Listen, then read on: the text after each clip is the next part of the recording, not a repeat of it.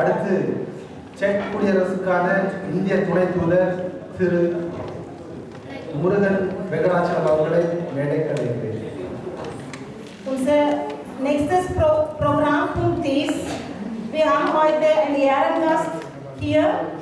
Ich äh, jetzt werde vor uns ein paar Wörter sagen.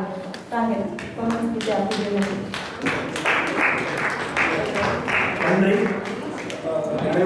புத்தாண்டு நல்வாழ்த்துக்கள்.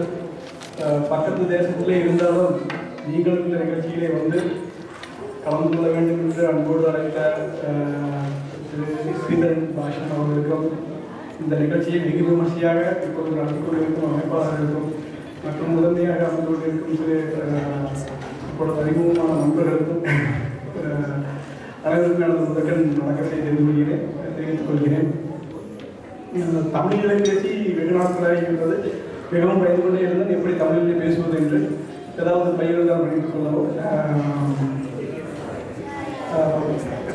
கூட்டாள உறவினர்கள் அருமையான நண்பர்கள் அவர்களெல்லாம் பிரிந்து வெகு தூரம் வந்த நான் இது மாதிரியான அருமையான கலை நிகழ்ச்சிகளை கண் நடத்தி கொள்வதில் நான் நடத்தி கொண்டிருப்பதை பார்த்து பெருமகிழ்ச்சி அடைகிறேன். அதில் கலந்து கொள்வதிலும் நான் பெருமகிழ்ச்சி அடைகிறேன். இப்படி தமிழகத்திலிருந்து இது மாதிரியான நிகழ்ச்சிகள் நடத்துவதை விட தமிழகத்திலிருந்து பிரிந்து வந்து வெகு தூரம் வந்து நாம் நடத்தும் இது மாதிரியான நிகழ்ச்சிகளுக்கு ஒரு முக்கியத்துவம் கொடுப்பதாக நான் கருதுகிறேன். ஏனென்றால் உண்மையான நாகரிகத்துக்கு சொந்தமானவர்கள் தான் நாம் பேசுகின்ற தமிழ் மொழி. இரண்டாயிரத்தி ஐநூறு ஆண்டுகளுக்கு முன்னதாக நமது முன்னோர்களால் பேசப்பட்டு வந்தது. தமிழிலே செம்மையான செய்திகள் படைக்கப்பட்டிருக்கின்றன நவீன இலக்கியங்கள் படைக்கப்பட்டு கொண்டிருக்கின்றன. இப்படி ஒரு ஒரு தொன்மையான நாகரிகத்துக்கு சொந்தமான நாம் நமது நாகரிகத்தை பற்றி நமது குழந்தைகளுக்கு சொல்லிக் கொடுப்பது நமது கடமையாகும். இப்படி ஒரு கடமையை இந்த நிகழ்ச்சிகளை நடத்தி நாம் பூர்த்தி செய்ய கொள்ளலாம் என்று நான் உண்மையாக நினைக்கிறேன் நான் இங்கே வருவதற்கு முன்பாக எனது மகன் நிறைய கேள்விகளை கேட்டான்.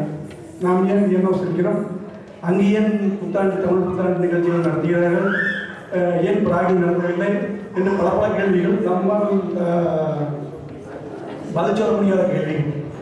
அவன் பிறந்தவுடன் நாங்கள் ஜப்பான் தேசத்துக்கு சென்று விட்டோம். அங்கே அஹ், அவனு வளர வளர அவனுக்கு நிறைய சந்தேகங்கள். ஜப்பானியர்கள் நம்மளை விட ஏன் வேற்றுமையாக இருக்கிறார்கள்?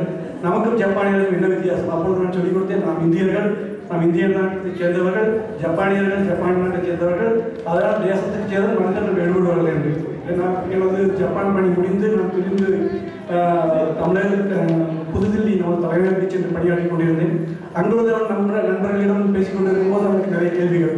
நாம் தான் இந்திய தேசத்தைச் சேர்ந்தவர்கள். ஆனால் நான் பேசும் மொழியே என் தனது இந்திய நண்பர்களுக்குரியவர்கள் என்ற கேள்வி. அப்பொழுதும் எனக்கும் குழப்பம். என்ன சொல்வது என்று. நாம் இந்திய நாட்டத்தைச் சேர்ந்தவர்கள் அவங்க நாடு இந்தியா தான் ஆனால் நாம் இந்தியாவில் உள்ள தமிழகத்தைச் சேர்ந்தவர்கள். நமது மொழி வேறு மொழி.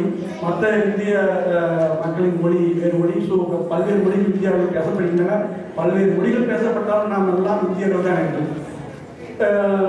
ஒருவாக புரிந்து கொண்டான் ஏன் ஜப்பானில் எல்லாரும் ஒரே மொழி பேசுகிறார்கள் இந்தியாவில் ஏன் பல மொழி பேசுகிறார்கள் என்று பதவியான கேள்வி ஸோ இது மாதிரியான கேள்விகள் ஆக்சுவலி அவர் வந்து கொண்டு இருக்கும்போது எழுபது இயல்பு.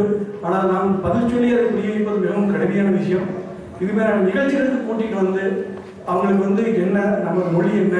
நாம் ஏன் இங்கு வருகிறோம்? நமக்கு என்ன அப்படிங்கிறத வந்து புரிய வைக்கிறது வந்து நம்ம கேள்வி கேட்பதை விட அதை பார்த்து நிறைய புரிஞ்சுக்கிறோம் அதற்காகவே இந்த நிகழ்ச்சிகளுக்கு நாம் வருவது மிக மிக முக்கியமானது. தமிழ் நாகரிக உண்மையான நாகரிகம் அதை பற்றி சொல்லிக் கொடுப்பது நமது கடமை. அதற்காக நமது குழந்தைகளை இதுவரை இது நிகழ்ச்சிகளுக்கு கூட்டு வர வேண்டும் என்று நான் உறுதியாக நம்புகிறேன்.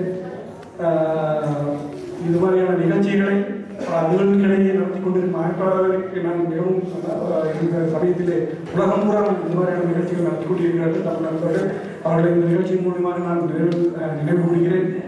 இங்கே வியன்னாவிலே இந்த மாதிரியான நிகழ்ச்சியை நடத்தி கொண்டிருக்கும் திரு வாஷிம் அவர்களுக்கு நான் நன்றியும் தெரிவித்துக் கொண்டு எனது உரையை முடித்துக் கொள்கிறேன். நன்றி வணக்கம்.